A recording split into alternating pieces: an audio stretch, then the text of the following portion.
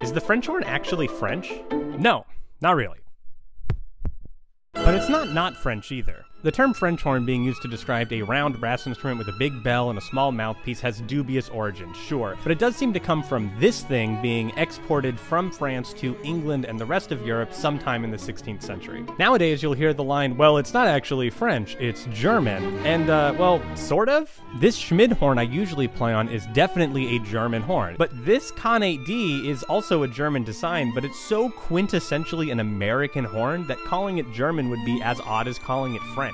Most modern valve horns are based off of a German design, but it's been a hundred years since these designs were first introduced, and now these horns have more regional varieties and regional identities than they do with where they originated. You could call it just the horn, as the International Horn Society wants you to, but then you might have to clarify what kind of horn you're talking about, and then you're gonna end up calling it the French horn anyway, even though that begs the question,